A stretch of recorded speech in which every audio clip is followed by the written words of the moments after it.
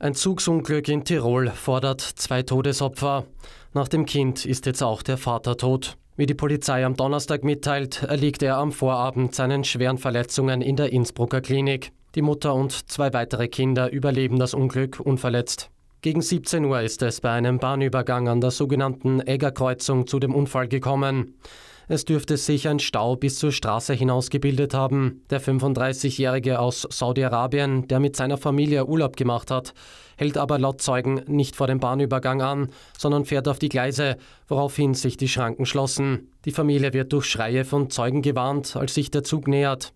Während die drei Überlebenden, die 34-jährige Mutter sowie zwei Kinder im Alter von sieben und elf Jahren rechtzeitig die Gleise verlassen konnten, wird der Vater und der vierjährige Sohn von einem Personenzug erfasst, obwohl sie es bereits aus dem Auto geschafft haben. Die 62 Insassen des Regionalzuges, der von Kitzbühel nach St. Johann unterwegs gewesen ist, werden nicht verletzt.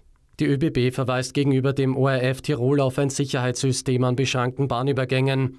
Grundsätzlich soll ein Bahnübergang nie befahren werden, wenn die Ausfahrt nicht gesichert ist. Sollte man trotzdem in diese Situation kommen, muss man Gas geben.